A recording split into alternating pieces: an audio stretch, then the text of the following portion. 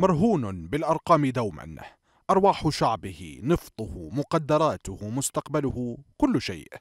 وفي العراق أيضا. لك أن تتساءل عن لعبة الأرقام. تلك التي تلعب في عداد الموتى عند الرحيل في كل حرب أو فوضى. ثمة أرقام مدفونة في الجيوب من فساد شائك معقد. وأرقام أخرى تلك التي يصل عدد سكان البلاد فيها إلى قرابة 41 مليون نسمة.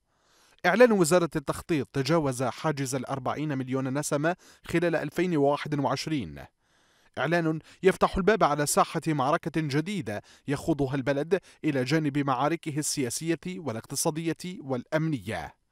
وبلغة الملايين.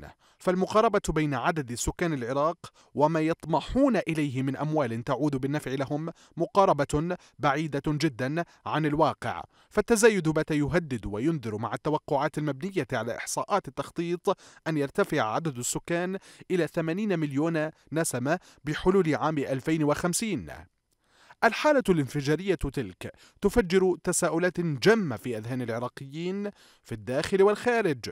عن كيفية إنقاذ البلد للقدرة الاستيعابية للسكان في ظل تزايد نسب البطالة وغياب البنية التحتية وغيابات كثيرة مثل الصحة والتعليم والإعمار والزراعة والصناعة وقائمة لا تحصى من الغيابات أمام شعب يتكاثر دون أمل مطروح في الحسبان.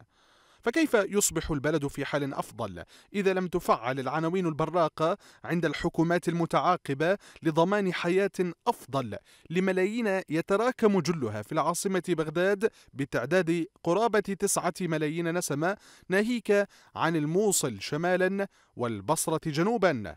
انفجار سكاني يلاحق بتساؤلاته غرف القرار. قبل فوات الأوان فمن يستجيب؟